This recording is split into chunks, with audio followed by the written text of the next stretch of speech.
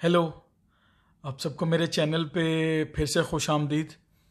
बहुत शुक्रिया आपके आने का। आप मुझे जानते हैं, मेरा नाम डॉक्टर अहमद है और मैं यूएई e में मुतहदा अरब अमारात में फ़िज़िशन के तौर पे काम कर रहा हूँ। आज मैं आपके सामने एक और मौजू के साथ आया हूँ और वो ये है कि यूएई e में आपको लाइसेंस हासिल करने के लिए एज ए डेंटल स्पेशलिस्ट कौन कौन सी स्पेशलिटी टाइटल्स जो हैं वो रिकग्नाइज्ड हैं।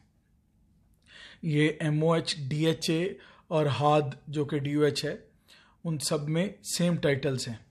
मैं आपको उनकी ऑफिशियल वेबसाइट जो है, उस पर जो लिस्ट है, उसको स्क्रीनशॉट भी दिखाऊँगा और साथ आपको बताऊँगा भी उनके नाम।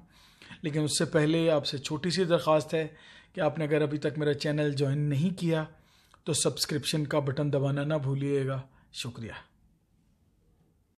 जी तो जनाब आप लोगों ने ऊपर देखा होगा title recognise specialty titles for licensing obviously dentistry के लिए। ये उनकी ऑफिशियल वेबसाइट से स्क्रीनशॉट लिया मैंने। और इसमें मैं आपको नाम पढ़ देता हूँ एक दफ़ा endodontics dental radiology oral and maxillofacial surgery oral medicine oral surgery orthodontics paedia paediatric dentistry primary care dentistry periodontics prosthodontics restorative dentistry forensic dentistry और नीचे नोट कर लीजिए कि उन्होंने लिखा है conservative dentistry is not recognise dental specialty यानी कि जो कंजर्वेटिव डेंटिस्ट्री है, वो डेंटिस्ट्री की स्पेशलिटी नहीं मानी जाती।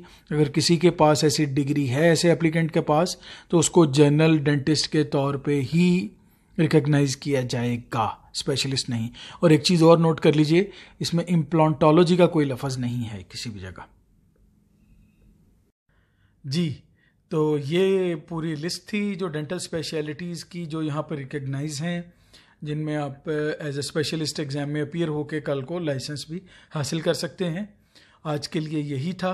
अगर इस हवाले से आपके जहन में कोई भी सवाल है तो कमेंट सेक्शन में ज़रूर लिखिएगा और अब मुझे इजाज़त दीजिए, अपना बहुत ख्याल रखिएगा।